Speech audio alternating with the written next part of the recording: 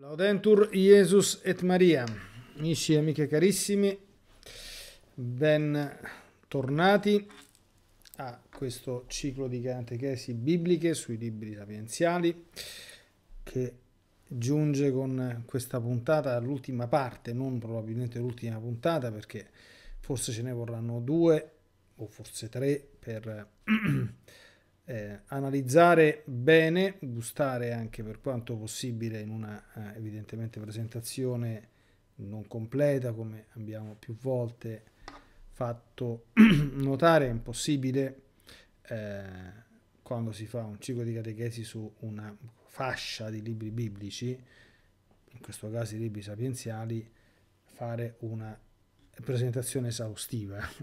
Sarebbe difficile anche se fosse fatto su un solo libro biblico, figuriamoci su un insieme no, di, di, di, di, testi.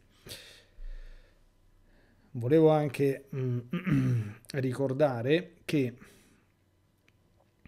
con questo ciclo di catechesi dei libri sapienziali, considerando anche quello che già è online, credo che praticamente mm, ci dovrebbe essere tutto, tutta la Bibbia, cioè tutta la Bibbia, tutte le aree della Bibbia, diciamo così, introdotte eh, e in qualche modo presentate, ecco, niente di più in maniera molto semplice, ripeto, non esaustiva e eh, divulgativa, proprio come introduzione di invito alla lettura, diciamo così, dal sottoscritto che sta parlando. Quindi chi vuole eh, ci sono le catechesi bibliche sull'Antico Testamento, eh, quindi che sono fondamentalmente quelle sul, sul Pentateuco e i libri storici. Eh, le catechesi sui libri dei profeti si trovano tutti quanti nelle playlist sui libri sapienziali, con questo si esaurisce l'Antico Testamento. Dopodiché ci sono tutti e quattro i Vangeli, Vangelo di Matteo, di Luca, di Marco e di Giovanni, e, e ci sono anche le catechesi sulle lettere di San Paolo e sul corpus Ioanneum.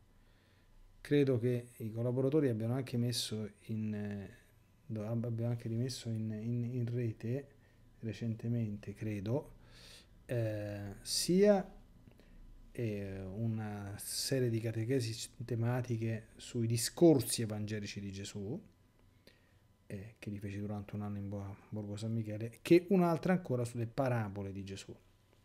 Quindi questo insomma per dire che come eh, ministro eh, sacro, quindi come sacerdote, ovviamente il mio primo dovere è quello che cerco anche di curare nell'omiletica giornaliera è il commento della sacra pagina che è il testo normativo come dire di riferimento ovviamente primo assoluto e per antonomasia eh, a cui tutti quanti insomma, dobbiamo, do, dobbiamo, dobbiamo stare, insomma, quindi nessuno discute che la Sacra Scrittura sia la fonte primaria e, ed eccellente, diciamo così, di ispirazione e di eh, spiritualità. Solo un istante. Bene, cominciamo a introdurre allora il libro del Siracide, per il quale ho scelto come sottotitolo Il libro della Chiesa per la formazione morale. È un testo stupendo, molto bello, vedremo subito, bello e eh, ampiamente articolato, eh, perché è molto lungo. In latino, il libro del, Seria, de, del Siracide, specialmente nella, nella, nella Vulgata, si trova con la dizione ecclesiastico, che termine appunto copiato da San Cipriano, non copiato, scusate, coniato da San Cipriano nel III secolo, perché ecclesiastico? Per designarne l'uso liturgico e catechetico appunto a scopo parenetico. Scopo parenetico, ecco, in greco, eh, dal greco deriva, significa a scopo esortativo in chiave morale. L'autore è Gesù ben Sira, eh, come si legge proprio in Siracide 50-27, mentre il prologo è del traduttore greco. L'originale ebraico è andato perduto, eh, il nipote di Bensira ci dà preziose indicazioni sulla data di composizione, cioè l'anno 38 del re Evergete, cioè al 132 a.C., mentre l'originale ebraico lo collocano gli esegeti tra il 196 e il 175 a.C. Si capisce quindi è un libro molto molto eh, recente, uno dei più recenti dell'Antico Testamento. Eh, allora, è, ha 51 capitoli, quindi è un libro molto ampio, suddivisi in tre parti. Una lunga raccolta di sentenze di vario genere, dal capitolo primo al capitolo 42, versetto 15. Poi c'è una sezione dedicata alla gloria di Dio nella creazione, eh, poco più di un capitolo, dal 42,16 al 43,33 e infine eh, una uh, ampia rassegna su come si è manifestata la, gloria di Dio nella storia della salvezza, passando per tutta una serie di personaggi ed eventi biblici, ovviamente veterotestamentari, perché quelli del Nuovo Testamento ancora non c'erano quando è stato scritto il libro del Siracide. E infine eh, l'epilogo due capitoli, capitoli 50 verso la, la, la parte conclusiva e 51. Questo è un po', vedete, sempre in molto molto ehm, molto veloce e, e, ampia la presentazione del, del testo. Ora, ci sono una serie di brani scelti che dobbiamo certamente andarci a gustare Mm, il libro del Siracide, vi dico subito, è un libro leggibilissimo come tanti altri libri sapienziali, non presenta difficoltà interpretative, può essere letto e meditato da chiunque, anche da una persona che non sia acculturata o cose di questo genere, perché è in pieno stile dei libri sapienziali fondamentalmente abbastanza semplice. Scusate un istante che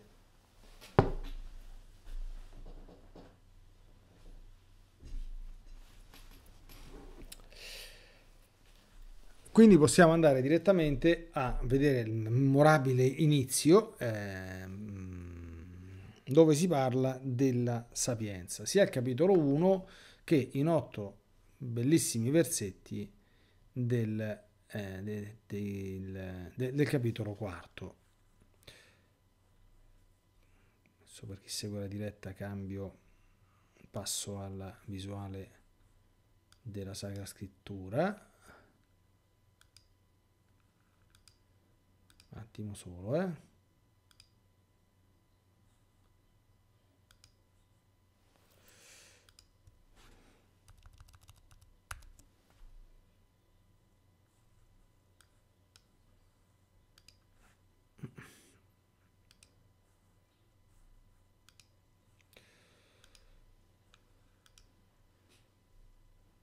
Allora, cominciamo la lettura del capitolo 1. Eh, vedete che la parte dedicata al testo greco, al testo ebraico, nella sinossi veterotestamentaria delle varie traduzioni manca appunto perché abbiamo perduto il testo originale, mentre c'è la versione dei 70, la doppia versione della CEI 74 e 2008 e quella, della, quella latina della Vulgata. Allora andiamo a vedere questo testo. Ogni sapienza viene dal Signore ed è sempre con lui. La sabbia del mare, le gocce della pioggia, i giorni del mondo, chi potrà contarli? L'altezza del cielo, l'estensione della terra, la profondità dell'abisso, chi potrà esplorarle? Prima di ogni cosa fu creata la sapienza e la saggia prudenza è da sempre. A chi fu rivelata la radice della sapienza? Chi conosce i suoi disegni? Uno solo è sapiente, molto terribile, seduto sopra il trono. Il Signore ha creato la sapienza, l'ha vista e l'ha misurata, l'ha diffusa su tutte le sue opere, su ogni mortale, secondo la sua generosità. La elargì a quanti lo amano. Il timore del Signore è gloria e vanto, gioia e corona di esultanza. Il timore del Signore allieta il cuore, dà contentezza, gioia e lunga vita. Per chi teme il Signore andrà bene alla fine, sarà benedetto nel giorno della sua morte. Principio della sapienza è temere il Signore. Essa fu creata con i fedeli nel seno materno. Tra gli uomini essa ha posto il nido, fondamento perenne, resterà fedelmente con i loro discendenti. Pienezza della sapienza è temere il Signore, essa inebile di frutti i propri devoti. Tutta la loro casa riempirà di cose desiderabili i magazzini dei suoi frutti. Corona della sapienza è il timore del Signore, fa fiorire la pace e la salute. Dio ha visto e misurato la sapienza, ha fatto piovere la scienza e il lume dell'intelligenza, ha esaltato la gloria di quanti la possiedono. Radice della sapienza è temere il Signore, i suoi rami sono lunga vita. Ecco. Qui termina la sezione dedicata alla sapienza, poi andremo a vedere la, la, perché comincia un altro argomento. E, ehm, andiamo a, ri, a, ripercorrere però ecco, questa, questa, questa meravigliosa eh, prima parte, no? Vedete che il testo è molto molto chiaro, penso che eh, non, non, non, c'è diciamo così un commento di tipo esplicativo, c'è un commento di tipo appunto proprio eh, che ripercorre e che sottolinea alcune espressioni magari con qualche piccola puntualizzazione perché come vedete il testo è chiaro, quindi penso è per questo che è accessibile, facilmente accessibile a chi desidera accostarvisi, no? E ogni sapienza viene dal Signore, bellissimo, già questa espressione, ed è sempre con Lui. Ecco, e appunto alcune articolazioni della sapienza, perché la sapienza, penso che ormai l'abbiamo imparato, è, è la scienza sapida, quindi è quella forma di conoscenza che però ha la sua radice in Dio, quindi che conosce le cose nel loro rapporto, dice San Tommaso, con il principio primo, che è l'Altissimo. Quindi che c'ha sempre conosce, ma conosce alla luce della fede, quindi conosce sempre eh, in relazione al principio primo. Allora, prima cosa, vedete subito, dopo aver detto che la sapienza è, viene dal Signore ed è sempre con Lui, cominciamo un attimo a mettere alcuni puntini. La sabbia del mare, la pioggia, i giorni del mondo, l'altezza del cielo, l'estensione della terra, la profondità dell'abisso, chi potrà esplorarle. Quindi tutta una serie di, di, di, meraviglie che anche se adesso noi siamo diventati scienziatissimi, eh? io non lo so se esiste online qualche informazione circa il numero dei granelli di sabbia del mare la, la, ritengo una cosa improbabile, però oggi siamo diventati così intelligentoni, insomma, o chi è capace di contare le gocce della pioggia, non solo quelle che sono occorse, diciamo così, oggi nei, posti dove ha piovuto, eh, ma chi è capace di, di, di, contare tutte quante le gocce di, di pioggia cadute sul pianeta Terra? Eh, o i giorni del mondo, qui ci sono gli scienziatoni di oggi che vanno a fare eh, dire, le, le, prove di coraggio circa i miliardi, milioni di anni indietro in cui saremo, poi non, non sono molto d'accordo tra, tra, tra, di loro, chi dice di più, chi dice di meno, insomma, no? E, no ecco. Oggi l'estensione della Terra più o meno sappiamo eh, misurarla, no? E forse anche le profondità degli abissi degli oceani L'altezza del cielo dobbiamo ancora studiare un po', ecco perché le galassie, insomma, e la loro distanza dalla Terra, così come anche il loro numero, sono ancora, rappresentano dei, degli orizzonti ancora ampiamente da, da esplorare. No? Tutto questo serve semplicemente a farci rendere conto eh, della trascendenza e della immensità e della grandezza di colui che ha appunto creato. Ecco.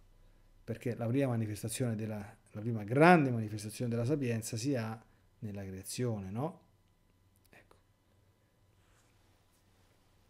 Chi conosce i disegni della sapienza? Anzitutto.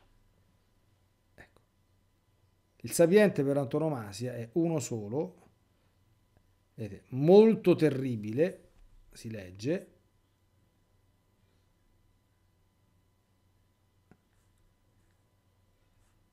in greco è uh,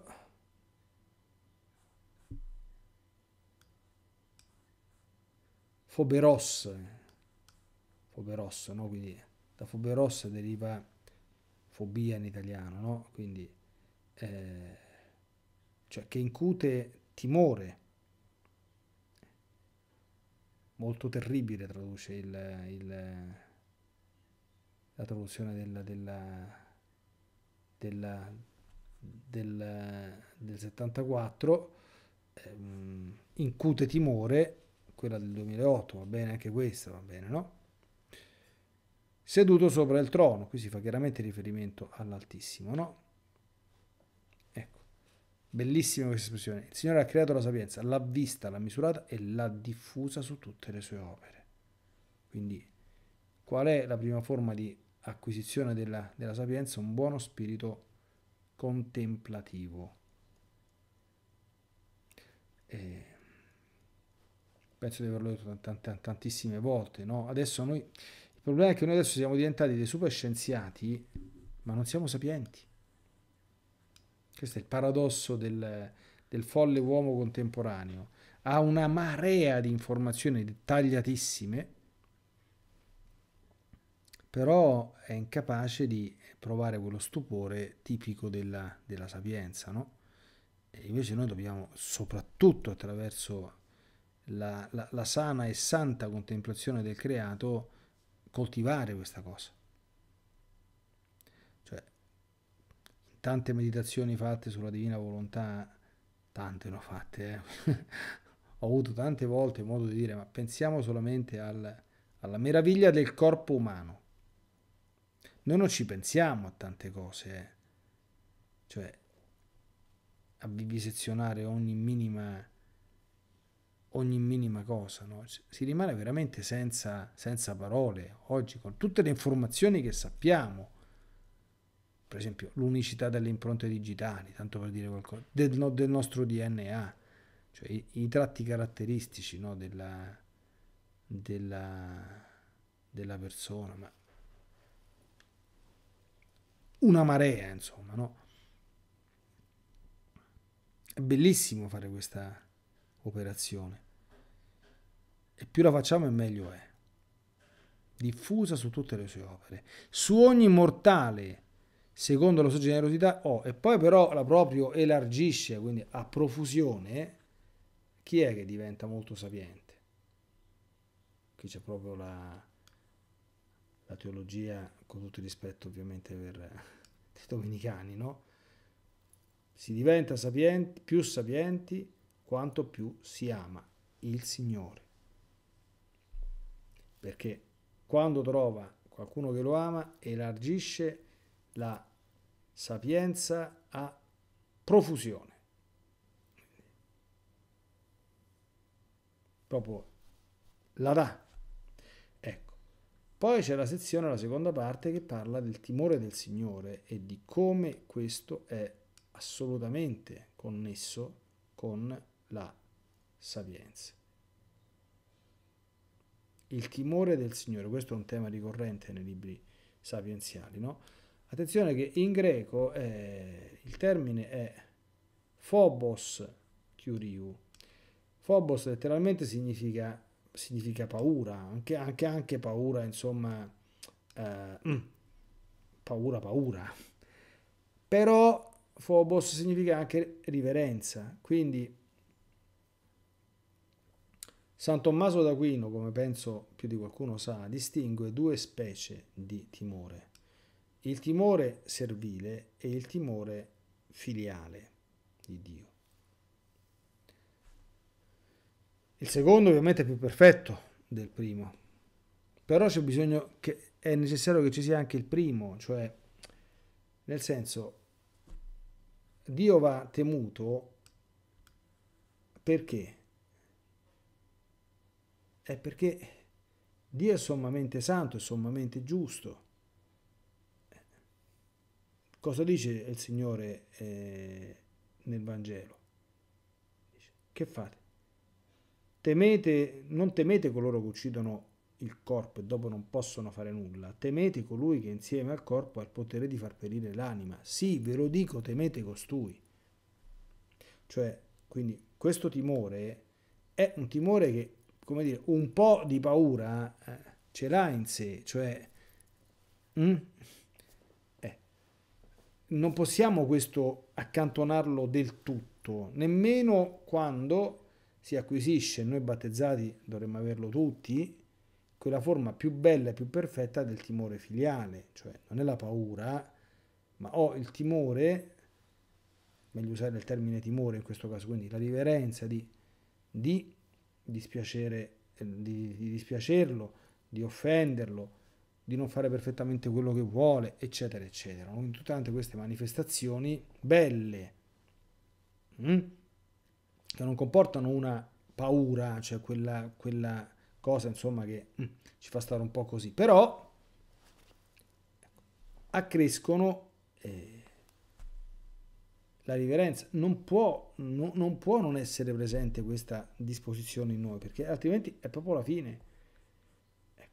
Vedete, il timore del Signore è gloria e vanto, gioia e corona di esultanza. Qui il commento sarebbe il timore del Signore allieta il cuore, dà contentezza, gioia e lunga vita. Per chi teme il Signore andrà bene alla fine, sarà benedetto nel giorno della sua morte. I timorati di Dio. Ci dice, no, quello è uno che non c'ha il timore di Dio.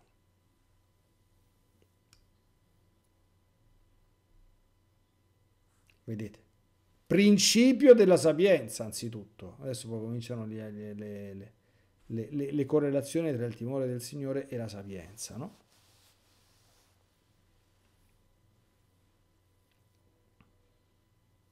Principio della sapienza è temere il Signore.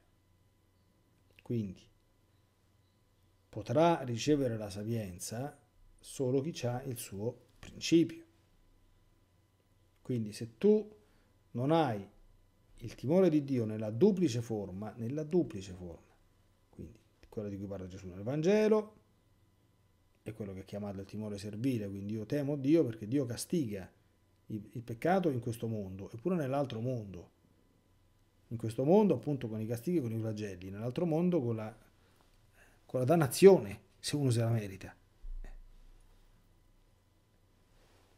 Però Dio è anche un Padre amorevole che ci indica e ci guida per la via del bene e, e che sarebbe sommamente sgradevole, brutto, dispiacerlo, offenderlo anche nel poco.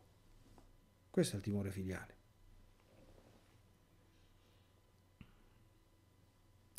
Poi, non soltanto principio della sapienza, ma anche pienezza della sapienza è temere il Signore. Cioè, quando si ha questo timore del Signore, si ha già la sapienza in pienezza. Non è una contraddizione, ma è così. Perché quanto più si è sapienti, quanto più questa cosa si perfeziona.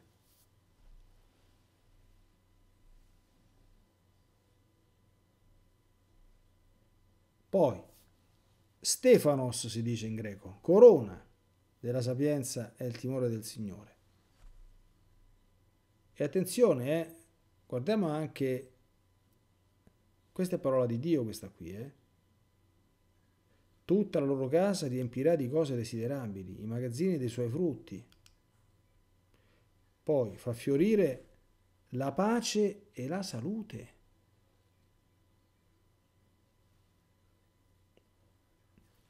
Questo è quello che c'è scritto. Ancora, radice della sapienza è temere il Signore e i suoi rami sono lunga vita. Bellissimo, no? Facciamo un piccolo jump e andiamo a completare questa presentazione con il capitolo quarto, i versetti appunto 11-19. Eh?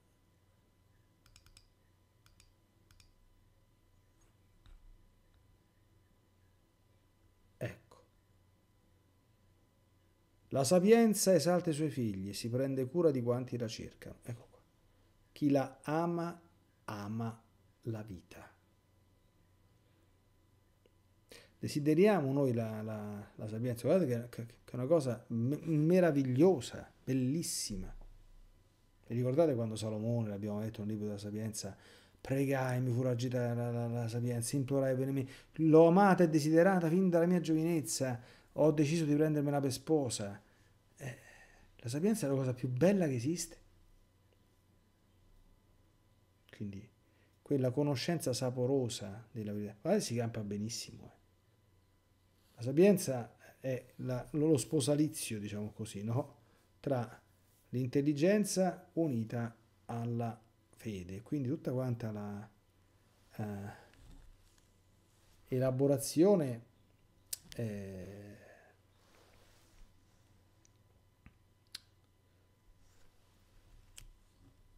di questo. Quanti la cercano solleciti saranno di colmo di gioia. La compagnia della sapienza l'abbiamo visto anche nel libro della Sapienza, specialmente nelle sezioni dedicate alle preghiere di, di Salomone, ce l'hai e avrai una vita felice, sarai pieno di gioia. Non solo, chi la possiede erediterà la gloria e qualunque cosa intraprenda il Signore lo benedice. C'è un salmo anche che dice queste cose. Tutto quello che intraprende gli riesce bene. Sapete quale salmo è? Il numero uno. C'è la distinzione tra l'uomo che teme Dio e l'uomo empio. Vedete? Beato l'uomo che non siede, che non è il consiglio degli empi, non induce nella legge dei peccatori, non siede in compagnia de, degli stolti. Non così gli empi, non così, tutto quello che intraprende riesce bene, riusciranno tutte le sue opere. Tutte le sue opere. Un sapiente è benedetto nelle cose che fa. Il Signore ama coloro che la amano. Capite? La sapienza, cioè, un tempo, quando ancora anche nella, nella Chiesa c'era un po' di maggiore buonsenso, sapete tutti quanti che per diventare pre sacerdote, prima di studiare la teologia, si studiava la filosofia. Fi filosofia in greco significa amico della sapienza. Ora, un altro brutto segno dei, dei, dei, nostri tempi in cui stiamo vivendo, adesso non voglio fare discorsi, è la decadenza della filosofia, no?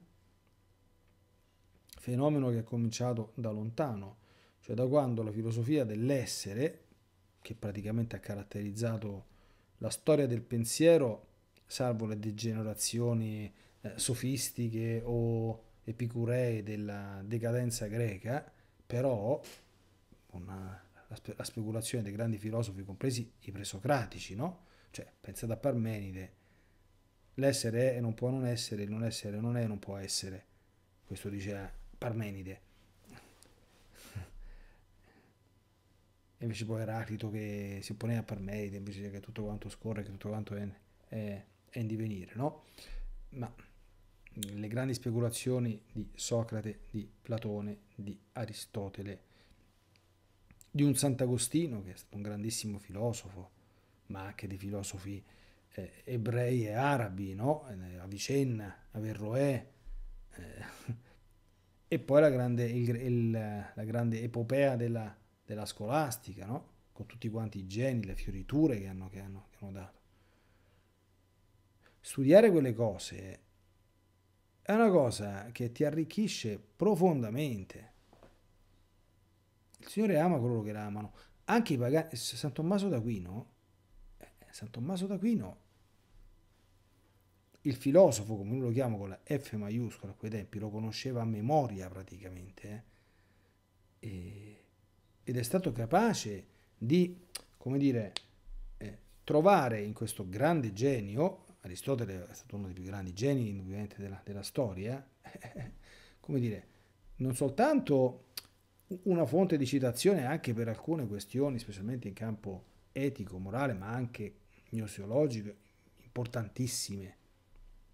Ma addirittura lui ha proprio preso delle, alcune categorie di Aristotele applicate alla, alla teologia. E guardate che la transustanziazione di queste cose, il concetto di, di transustanziazione che è diventato dogma di fede con il Concilio di, di Trento, ma da che cosa è stato il concetto di sostanza? Chi è che l'ha approfondita? Cioè la composizione tra sostanze e accidenti di ogni ente in base al principio dell'ilemorfismo. Chi l'ha approfondito? Aristotele. E San Tommaso è stato un genio a prendere questa roba qui e dice, ma attraverso questa categoria forse, non dico che, che, si buca il mistero, ma si può capire qualcosa di quello che succede quando il sacerdote consacra. Vogliamo provare? E mi sembra che i risultati siano discreti, siano.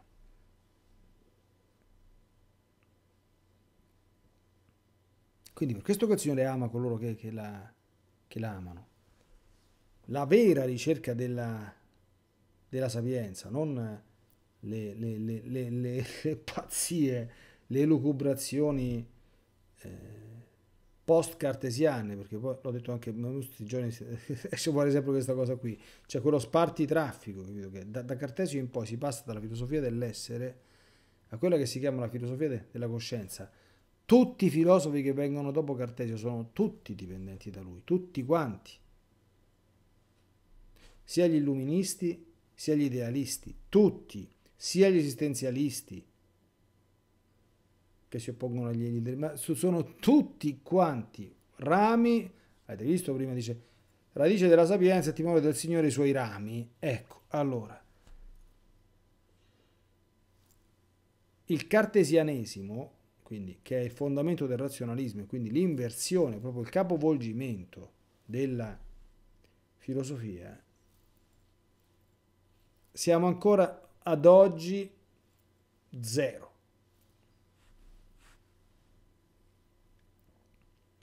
Il grande Papa Leone XIII aveva capito benissimo alcune cose e aveva per esempio promosso a livello filosofico teologico la cosiddetta neoscolastica, perché capiva che infiltrandosi i tossici veleni del, dello pseudo pensiero moderno contemporaneo, questo avrebbe rovinato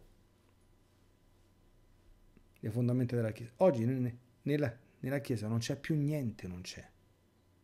Abbandonato San Tommaso d'Aquino, eh, i chiacchieroni moderni e neomodernisti. Guardate che in giro c'è proprio una disgustosa ignoranza, discorsi proprio di una banalità, a volte quasi da bar, che si sentono dire da, da persone che dovrebbero essere dei luminari. C'è anche una grandissima decadenza culturale e che è un male gravissimo per quanto mi riguarda nel clero, no?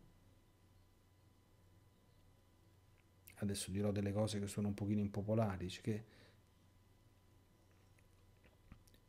poi sapete bene che una volta cioè un sacerdote tu non potevi neanche avvicinarti al seminario se non hai fatto il liceo classico, anche perché nel seminario minore lo avresti fatto, anche perché non esiste una cosa del genere. Così come una volta, questo me raccontava sempre mia madre, qual era l'unica scuola che ti dava l'accesso a tutte le facoltà universitarie? Il liceo classico. Se lo scientifico a tutte meno che a lettera giurisprudenza.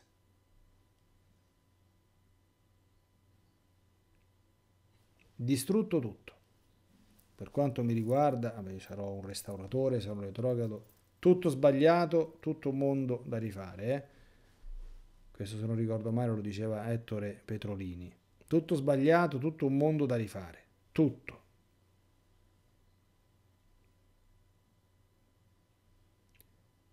La sana e santa filosofia è una delle cose che dovrà, perché la, la gente oggi non pensa, non ragiona, sragiona.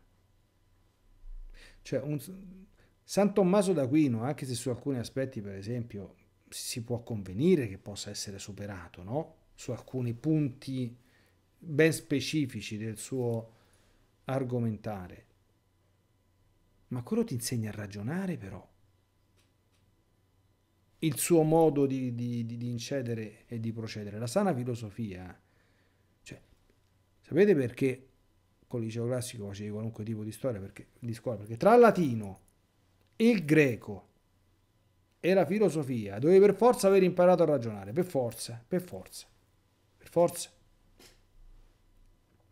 Il latino è una delle lingue più ferree che esiste, cioè se tu sei bravo in latino sei l'equivalente di chi è bravissimo in matematica.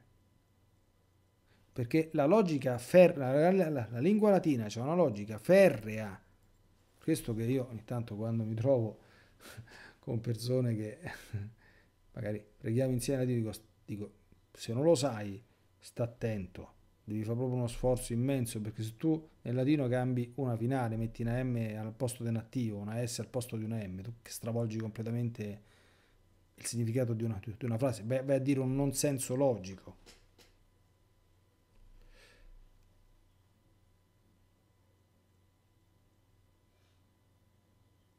Chi l'ascolta giudica con equità, chi le presta attenzione vivrà tranquillo. Ha capito? Chi, la, chi le presta attenzione vivrà tranquillo. La tranquillitas è quella, è quella situazione, quello stato d'animo che è il contrario, la tranquillità è il contrario di che cosa? Dell'agitazione, no? Della, dell'angoscia. Noi siamo agitati e siamo angosciati quando ci manca la terra sotto i piedi, non sappiamo a che santo votarci. Questo non è roba che abita in un cuore sapiente. Attenzione, chi confida in lei la otterrà in eredità e poi guarda bellissimo. I versetti 17 e 18 sono da incorniciarsi. Dapprima lo condurrà per luoghi tortuosi, gli incuterà timore e paura, lo tormenterà con la sua disciplina finché possa fidarsi di lui e lo abbia provato con i suoi decreti.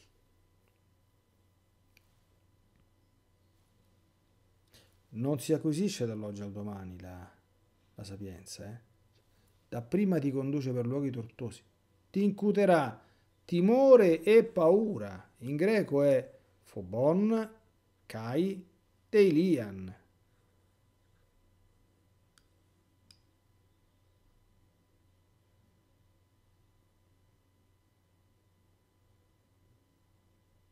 in primis terrore e, e timore e paura.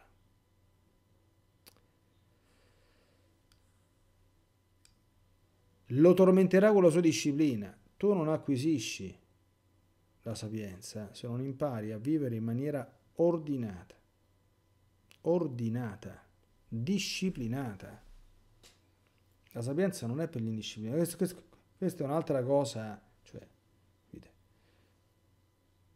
la nostra vita deve essere ordinata e disciplinata. Voi pensate, tanto per farvi un esempio, un sacerdote come, come un sacerdote diocesano, vedete, cioè, vedete io, vedete che la casa mia è sempre vuota, io campo da solo, non è che ci sta qui, come dire, il grande fratello che, che, che, è il vescovo che mi controlla tutto quello che faccio e mi dice è ora che, fa, di fare i vespri, è ora di andare in chiesa a celebrare. No, Perché la nostra vita però sia fruttuosa, noi dobbiamo imporci una disciplina. Evidentemente non, non, non da lager o da caserma o da monastero certosino perché è impossibile. Però la nostra vita non può essere vissuta a casaccio. La giornata non può essere vissuta a casaccio. Te la scordi la sapienza. Anche perché proprio della sapienza indirizzarsi verso questa via. Dio ci mette alla prova prima di concederci i suoi doni. Dio verifica se può, fidarci, se può fidarsi di noi. Pensiamo a Maria Santissima. Maria Santissima, Dio si poteva fidare di, di Maria Santissima? E, e, e quante volte l'ha messa alla prova Maria Santissima? Quante?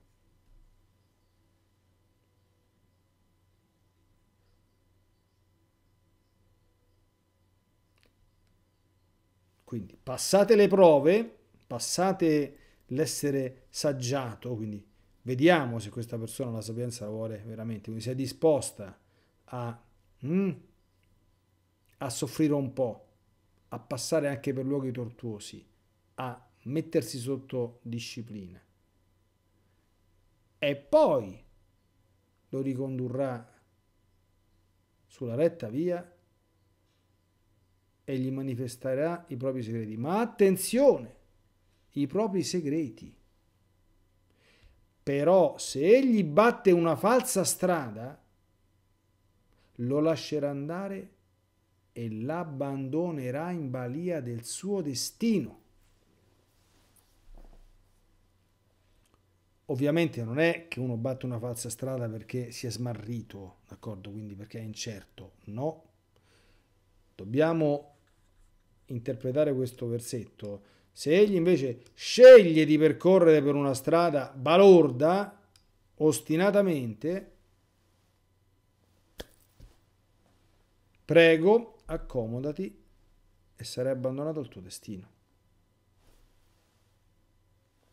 Un dannato è uno che è stato abbandonato al suo destino, volontariamente scelto e perseguito in maniera ostinata e irreversibile.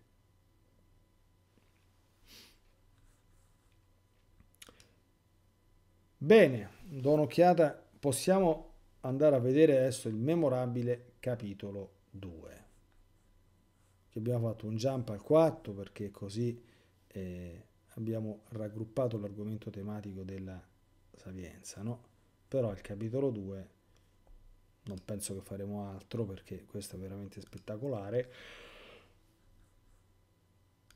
È appunto veramente spettacolare, ce l'andiamo a gustare.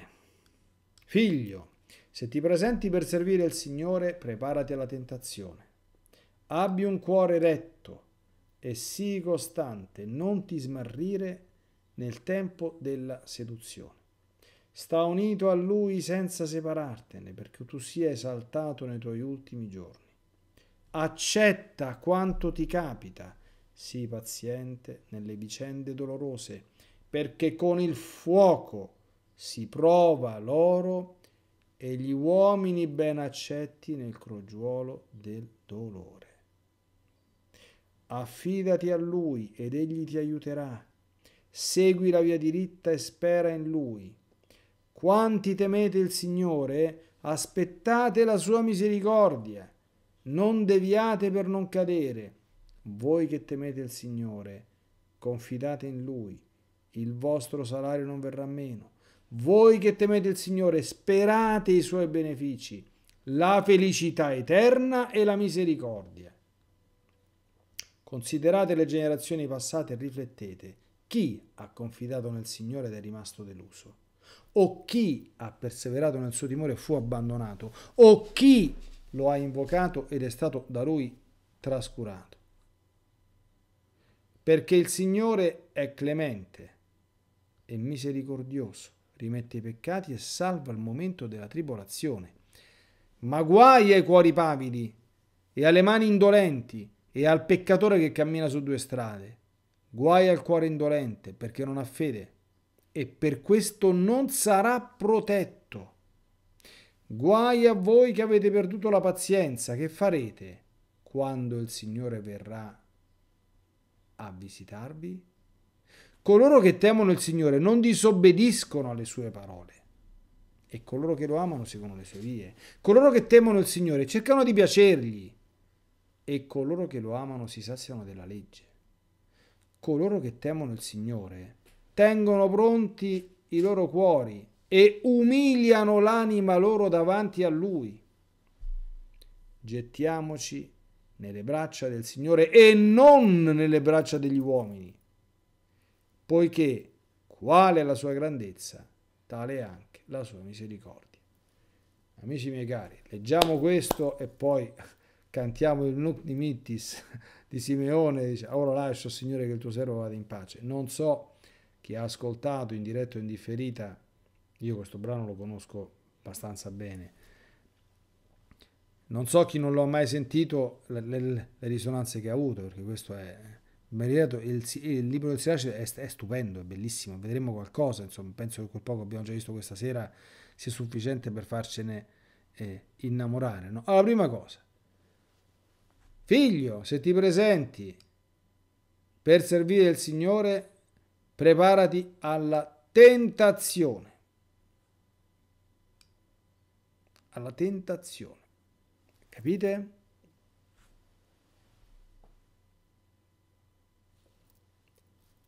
Chi si presenta per servire il Signore sarà tentato. Tentato in due, in due, come dire, modalità. Ci sarà la tentazione del diavolo che certamente non ti lascia in pace nel servire il Signore. E poi ce n'è un'altra, c'è la prova, l'abbiamo già visto. Non ti smarrire nel tempo della seduzione, tradotto forse un po' più opportunamente dalla CEI 2008 con eh, prova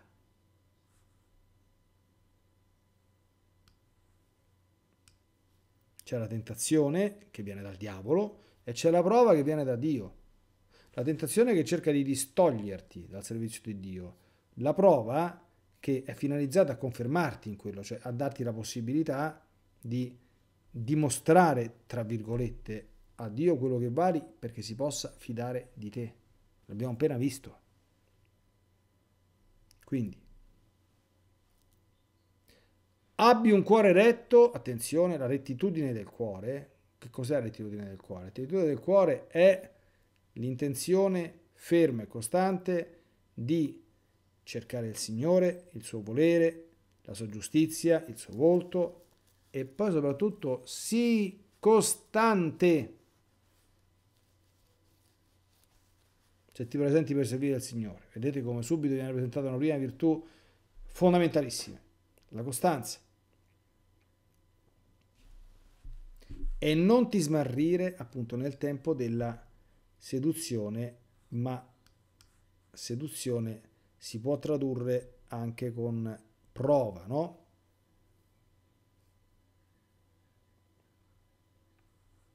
Non ti smarrire.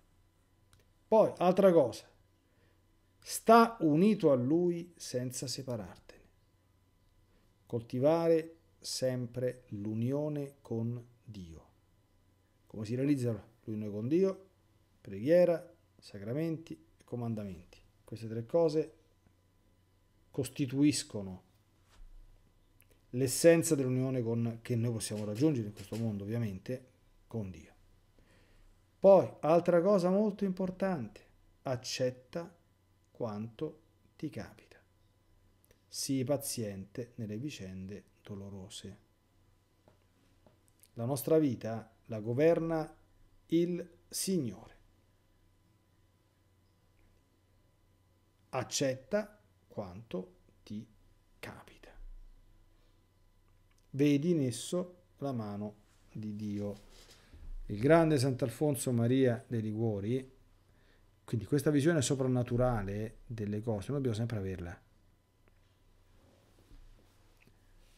È proprio della sapienza una delle cose proprie della, della sapienza, cominciare piano piano a percepire, comprendere sempre di più che nelle vicende, nelle circostanze anche quotidiane passa la presenza e la grazia di Dio, comprese quelle dolorose. Sant'Alfonso diceva che se viene uno e ti offende, e questo c'è l'esempio biblico in Davide quando Simei della tribù di Saul, mentre lui stava scappando da Gerusalemme, lo riempiva di improperi. Se uno ti, ti insulta, sta facendo un'ingiustizia e il Signore gliela farà pagare quell'ingiustizia, come tutte le ingiustizie si pagano davanti a Dio. Però tu non devi ribellarti e non devi prendertela con lui, ma devi vedere dietro quell'umiliazione la mano di Dio che in quel momento vuole che tu soffra quell'umiliazione. Questa è grande santità. Andate a vedere, l'abbiamo, l'abbiamo visto l'anno scorso nei, nei, negli incontri biblici sull'Antico Testamento, come reagisce Davide. A un certo punto gli arriva uno dice ma fammi staccare la testa sto cane morto che ho in comune con voi figli di, di Zeruia se lui mi maledice è perché il Signore gli ha detto maledici Davide testuali parole lascialo fare perché può darsi che vedendo il Signore la mia umiliazione avrà pietà e misericordia di me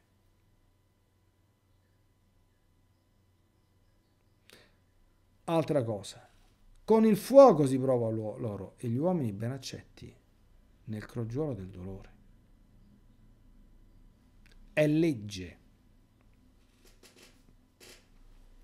Come si fa a trarre fuori l'oro, beh, quello bello, no? Quindi l'oro raffinato dall'oro grezzo? Si alzano le temperature, figlioli miei cari, si va al fuoco, la prova del fuoco. Oh, c'è un bellissimo film eh, che si chiama Fireproof, dato che adesso va, va di moda parlare di film di di un regista eh, statunitense, purtroppo non cattolico, ma dai contenuti molto, molto cristiani, sì, si, si, vedono le venature di, ahimè, di, di, di, protestantesimo, però comunque molto edificante. Si chiama Fireproof, prova di fuoco, cioè come si può salvare un matrimonio che è, giunta, che è giunto alla deriva. Consigliatissimo. Alex Kendrick si chiama il regista. E e poi ancora affidati a lui ed egli ti aiuterà. Affidarsi al Signore. Quando stiamo in difficoltà. Più avanti dice, gettatevi tra le braccia del Signore, non tra quelle degli uomini. Per carità. Maledetto l'uomo che confida nell'uomo, si legge in Geremia. Benedetto l'uomo che confida nel Signore. Segui la via diritta. Non si esce mai dalla via diritta. Se tu stai nei comandamenti e non ti discosti, non pecchi, non temere mai di nulla. Oh. Il versetto 7, dato che oggi siamo in tempi di... Eh, oh, è fondamentale. Chi è che può aspettarsi la misericordia del Signore? Quanti lo temono? Non quanti lo irridono quanti lo temono? Di timore abbiamo già detto eh, servile e filiale, se vogliamo usare i termini di San Tommaso d'Aquino. Quelli sì. Aspettate la sua misericordia. Voi che temete il Signore, dice più sotto, sperate i suoi benefici. Chi teme il Signore, certo, può sperarli. Sperate anche la felicità eterna, certo. La speriamo. Se uno teme il Signore la può sperare. E la misericordia ancora. Quindi che significa? Che la misericordia scende sui timorati di Dio. Non scende su tutti incondizionatamente. Né tantomeno su quelli che ne abusano, che le ridono. Oh, altra cosa, considerate le generazioni passate e riflettete. Chi ha confidato nel Signore ed è rimasto deluso. Leggiamo, figlioli miei cari, facciamo un po', facciamo qualche bel regalo, qualche bella vita dei santi, che è molto istruttiva ed è molto bella, molto importante. Usiamo bene il tempo che ci è dato. Chi ha perseverato nel suo timore fu abbandonato, Dio non abbandona nessuno. Eh specialmente quelli che perseverano nel suo timore. Abbandona il suo destino, tra virgolette, come abbiamo visto, chi si ostina nella sua volontà di fare quello che vuole.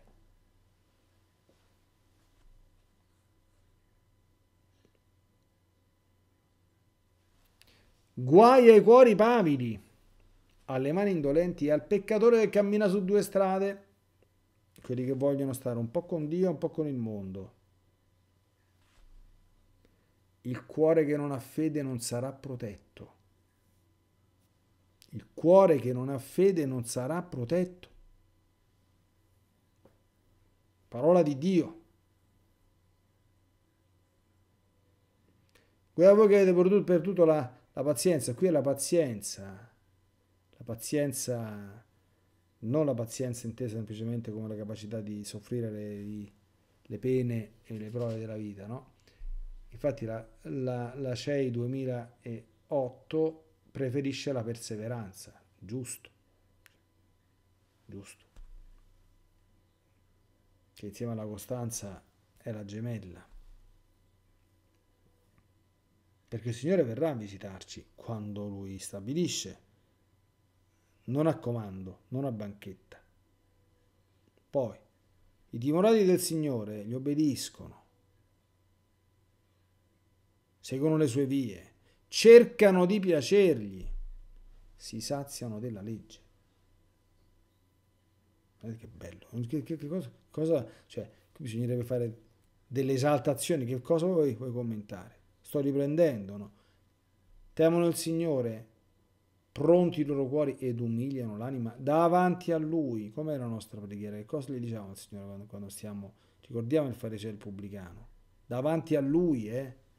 Non davanti agli uomini. Umiliarci, farci, farci piccoli. E poi c'è una ripresa del tema. Gettiamoci nelle braccia del Signore, non in quelle degli uomini. Bellissima espressione, perché quale è la sua grandezza, tale anche la sua misericordia. Aveva annunciato che questa è l'ultima parte del, del ciclo di catechesi, ma sicuramente non era l'ultima puntata perché abbiamo fatto quasi nulla, ma non fa niente. Eh, quindi noi siamo ben felici eh, di gustarci con calma questo libro e nella prossima volta cominceremo una sezione molto molto interessante che è quella che riguarda i doveri verso i genitori eh, e poi una cosa molto molto bella eh, sarà l'ultima parte che è l'educazione dei figli di cui ho parlato nei giorni scorsi. E che ecco, sentiremo come si educa un figlio secondo la sapienza del Siracide. Non è proprio la stessa cosa di quello che si vede oggi in giro ecco però poi ne parleremo a suo tempo, quando sarà il momento. Laudentur Jesus et Maria, Dio vi benedica e la Santa Vergine tutti vi protegga.